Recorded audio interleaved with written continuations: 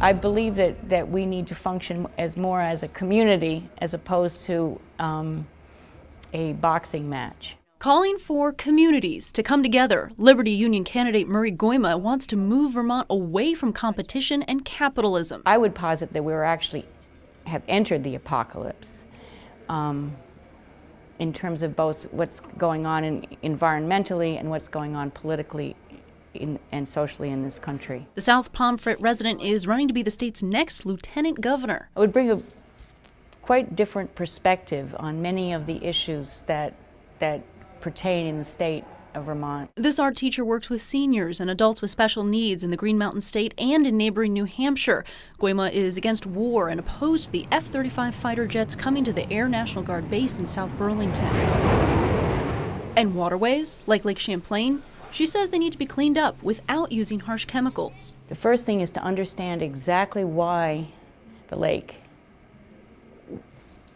is, is polluted and by that I mean to understand how the earth is responding, the, the ecosystem is responding to human activity along the lake.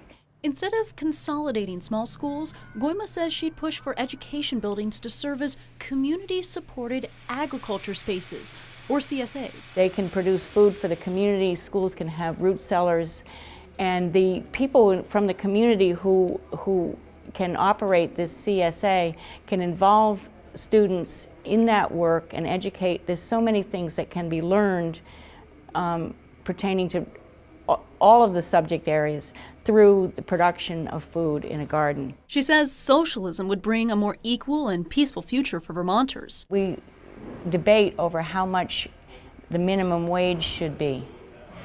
Um, Liberty Union is advocating for a universal basic income. It's all part of the Liberty Union's party platform, something she's been a part of for decades. I was a member of Liberty Union in 1970 when I was too young to vote. As Lieutenant Governor Ngoima says she'd work to get young people today involved in the political process. One thing I would advocate for in terms of increasing participation in the political process is lowering the voting age to 16.